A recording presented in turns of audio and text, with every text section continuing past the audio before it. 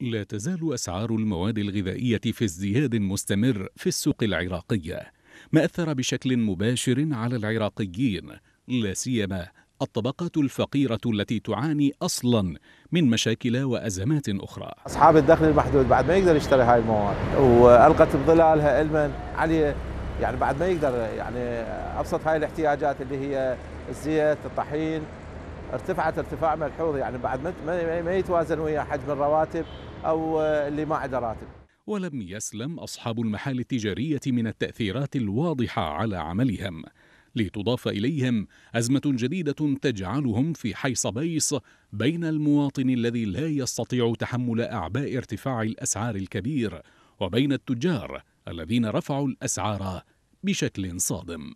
والله التأثيرات اللي صارت يعني أثرت بشكل أساسي اولا على المواطن طبعا لأنه هو بكل الأحوال هو المواطن اللي راح يتأثر بأي ارتفاع بالسعر. وإحنا كأسواق كماركت يعني اللي خلينا نقول اللي هو إحنا شغلنا بيهن هم تأثرت لأنه إحنا صعدت علينا الأسعار صعدت علينا يعني التجار قاموا يغلون. إيش قد ما هو السعر صعد هو بعد يضيف فوقه. مواطنون تحدثوا عن الغموض الذي يلف هذه الأزمة. فالحكومة تبرر هذا الارتفاع بما يدور من حرب بين روسيا وأوكرانيا. وآخرون يرون أن الحكومة لم تكن جادة في استعداداتها الاستراتيجية لمثل هذه الأزمات. والله الارتفاع اللي يصير أو الوضع اللي يصير غامض.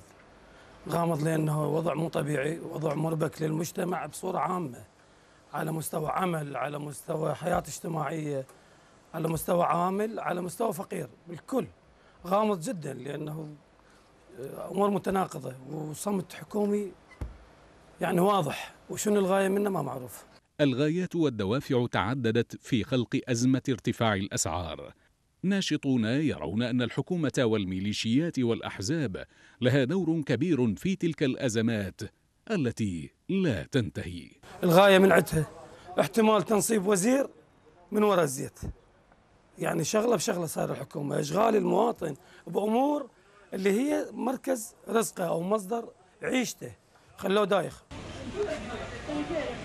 يبدو أن أزمة ارتفاع الأسعار والأزمات الأخرى أوصلت العراقيين إلى حد لا يمكن السكوت عليه وسط تراجع في مواد البطاقة التموينية التي اقتصرت على ثلاث مواد فقط بعد عام 2003 لازم تصير ثورة. ضد هذا النظام وضد هذا الوضع اللي اللي قاعد يدور واللي الأذية اللي دا يأذون بها الشعب. هذه واحتمال تصير ثورة لأن هذا الوضع.